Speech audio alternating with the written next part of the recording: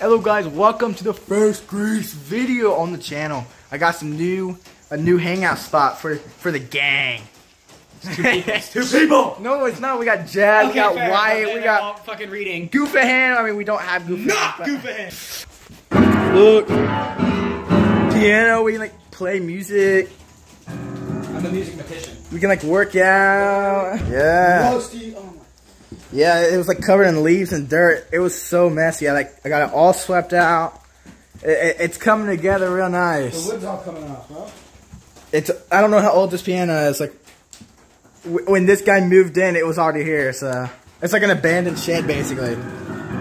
So, yeah. Perfectly though.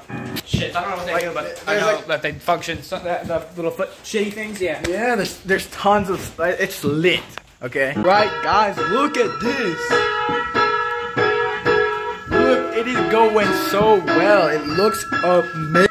We got Cody, the pianoist of the gang.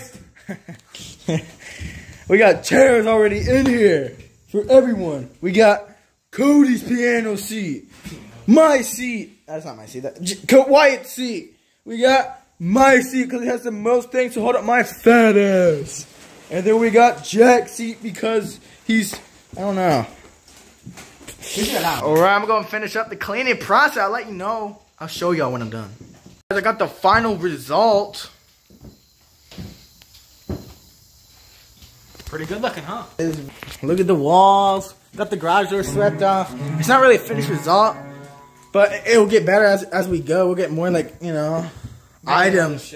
Just like yeah, I don't know what this stuff is. It's just like stuff. I don't know. Uh, exactly. There's no Probably just like stuff. throw it away. It's crazy. There's a whole ass piano in there. Yeah, whole Right here, whole right? piano.